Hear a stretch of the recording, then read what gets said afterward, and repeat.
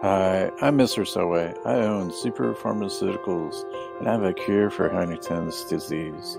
I will first explain the background of this disease and then my cure. Huntington's disease is named after George Huntington. It is a fatal genetic disease caused by a CAG repeat in the Huntington gene. This means that the disease is carried through the DNA of a person. The average age of Huntington's disease is 45 years, with the early stages showing minor involuntary movements. Eventually, voluntary activity is not possible, and people are totally dependent on others for help. Finding the gene responsible for Huntington's disease was no small feat. The gene was discovered in 1983 by restriction length polymorphism by isolating a family in Venezuela.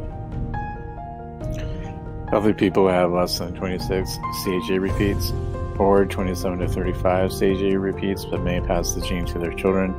36 to 39 CAG repeats are at risk of the disease, and anyone with over 40 CAG repeats most likely will get sick with the disease.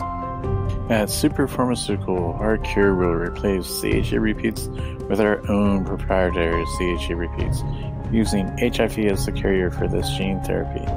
Please invest in our company.